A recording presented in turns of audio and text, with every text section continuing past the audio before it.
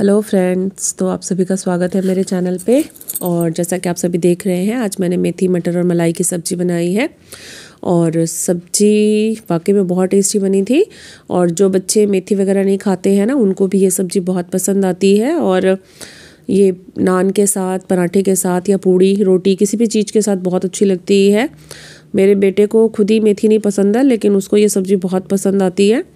तो चलिए, बनाते हैं फटाफट। और इस सब्ज़ी को बनाने में ना बहुत ज़्यादा झंझट भी नहीं है, बस थोड़ी सी सामग्री से बन के तैयार हो जाती है। तो यहाँ मैंने ना एक कटोरी जितना मेथी को धो करके कट कर लिया है बारीक। यहाँ फ्रेश मटर को यूज़ कर रही हूँ मैं, और ये काफ़ी मीठी है। और एक से डेढ़ कटोरी जितनी दही दही भी बहुत ज़्यादा खट्टी वाली नहीं लेनी है।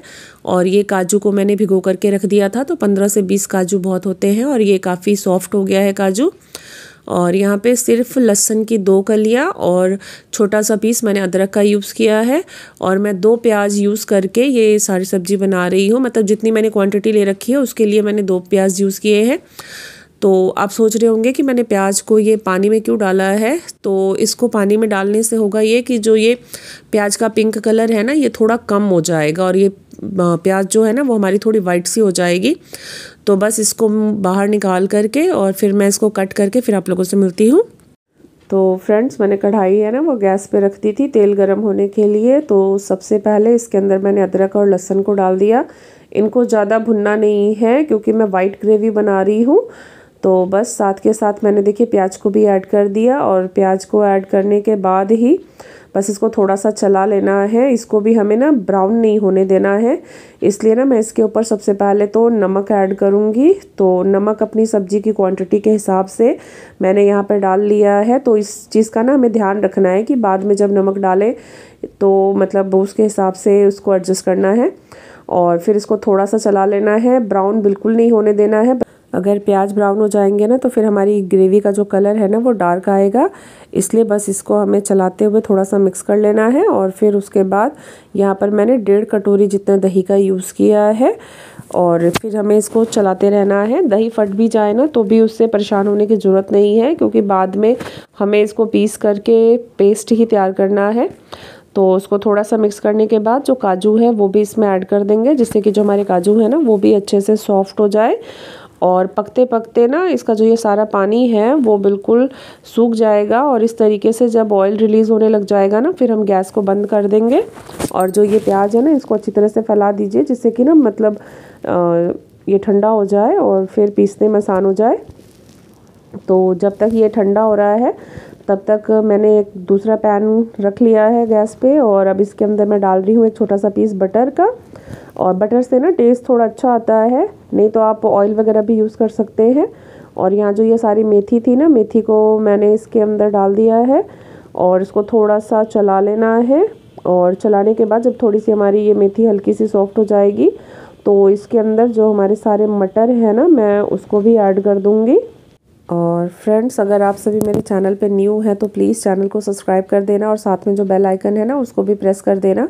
जिससे आपको मेरे आने वाले वीडियोस के नोटिफिकेशंस मिलते जाए। और वीडियो को प्लीज़ लाइक भी कर देना। यहाँ पे ना मैंने चार पाँच मिर्चों में इस तरीके से सेंटर में कट लगा करके इसको इसमें ऐड कर दिया है। अगर हम मिर्चों को ग्रेवी में डालेंगे ना तो हमारी ग्रेवी का कलर थोड़ा ग्रीन हो सकता है। इस वजह से मैंने मिर्चों को मटर के साथ ही डाल करके पका लिया है। और अब ये जब थोड़ा ठंडा हो गया तो अब मैंने इसको जार में डाल करके ना इसका बिल्कुल फ़ाइन पेस्ट बना लिया है। बिल्कुल दरदरा नहीं रहना चाहिए, बिल्कुल स्मूथ और ये आप देख सकते हैं, बिल्कुल स्मूथ हो गया है। तो अब मैं ना इसको कढ़ाई में छान करके फिर आप लोगों को दिखाती हूँ। तो ये देखिए फ्रेंड्स मैंने इसको एक बार वैसे स्मूथ था, लेकिन मैंने फिर से इसको छन्नी में और छान लिया, जिससे ये बिल्कुल ही सॉफ्ट जैसे हमें जो रेस्टोरेंट में ग्रेवी मिलती है ना, उसके अंदर बिल्कुल भी दरदरा नहीं होता है, ये बिल्कुल वैसा, और ना ही मैंने कोई एक्स्ट्रा मतलब तेल इसमें ऐड किया, और ना ही मसाला डायरेक्टली मैंने कढ़ाई में डाल दिया। और ग्रेवी मुझे काफ़ी गाढ़ी लग रही थी तो मैंने इसमें थोड़ा सा दूध डाला है इसको और जब एक बार ये अच्छे से पकने लग जाए ना पाँच सात मिनट के बाद तो फिर हम इसके अंदर जो ये हमारी पकाई हुई मेथी और मटर है ना, इसको ऐड कर देंगे और फिर इसको अच्छे से मिक्स कर लेंगे और मिक्स करके इसको पाँच से सात मिनट के लिए हम इसको पकने के लिए ढक करके छोड़ देंगे। जब तक हमारी जो ये मतलब मेथी और मटर है ना, वो इसके अंदर, ग्रेवी के अंदर अच्छे से मिक्स हो जाए। अब पता नहीं इसका नाम मेथी मटर मलाई क्यों है? मतलब मलाई का तो हमने कहीं यूज़ भी नहीं किया है, लेकिन फिर भी मेथी मटर मलाई। तो चलिए, अब यहाँ ना मैं फ्रेंड्स इसके लिए एक मसाला बनाऊँगी। आपने देखा होगा कि हमने कोई भी मसाला इस मतलब ग्रेवी के अंदर नहीं ऐड किया है। तो यहाँ मैंने नमक ले लिया एक चम्मच, उसमें जीरा, काली मिर्च और एक चम्मच साबुत धनिया ले लिया है और फिर इनको अच्छे से ना हमें भुन लेना है। भुनने से जो मसाले हैं ना, उनका फ्लेवर थोड़ा और ज़्यादा उभर जाता है और फिर इसको दरदरा सा कूट लेना है। आप देख सकते हैं ये।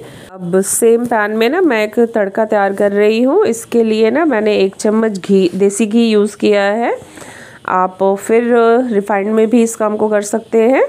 तो यहाँ जब घी अच्छे से पिघल जाएगा तो उसके अंदर मैं ऐड करूँगी पाँच सात काजू।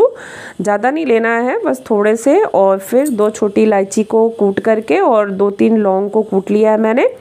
इससे हमारे जो घी है ना, उसमें अच्छा सा फ्लेवर आ जाएगा और इसको बस हमें चलाते रहना है, जिससे कि काजू ना बिल्कुल रेड ना हो जाए और फिर थोड़ी सी कश्मीरी लाल मिर्च मैंने ऐड कर दिया है इसमें। और फिर चलिए जादू दिखाती हूँ, कैसा दिखाई देता है। तो जो मैंने मसाला बनाया था ना, उसको सब्ज़ी के ऊपर मैंने इस तरीके से छिड़क लिया है। इससे हमारी सब्ज़ी के अंदर किसी भी मसाले की कमी नहीं महसूस होगी। और आप लोगों ने होटल वगैरह में देखा होगा ना, सब्ज़ी के ऊपर इस तरीके से ऑयल दिखाई देता है रेड रेड कलर का। तो ये बस वही है, रोगन बोलते हैं इसको। तो वैसे अगर नहीं भी डालेंगे तो भी कोई फ़र्क नहीं पड़ेगा, लेकिन बस ये देखने के लिए थोड़ा अच्छा लगता है। और मेरा बेटा, जिसको मटर और मेथी बिल्कुल नहीं पसंद है, लेकिन उसको ये वाली सब्ज़ी बहुत पसंद है। तो आप लोग भी एक बार इसको ज़रूर ट्राई कर सकते हैं अपने बच्चों को, जिनको मेथी वगैरह नहीं पसंद है ना। और इसमें मेथी पता है, बिल्कुल कड़वी भी नहीं लगती है। पता भी नहीं चलता कि आपने मेथी डाल रखा है। तो एक बार उनको बिना दिखाए, बिना बताए, इस तरीके से मेथी बना करके देखिए और ज़रूर उनको पसंद आएगी। और अगर आप लोगों को, फ्रेंड्स, मेरी रेसिपी अच्छी लगे तो प्लीज़ इसको लाइक कर दीजिएगा वीडियो को। और अपने फ्रेंड्स वगैरह के साथ भी ज़रूर शेयर करिएगा। और इसी तरीके से चैनल पे आते रहिए, हमें भी सपोर्ट करते रहिए। आप लोगों के सपोर्ट की बहुत ज़रूरत है। तो वीडियो अच्छी लगे तो प्लीज़ दोबारा कह रही हूँ लाइक कर दीजिएगा। Thank you for watching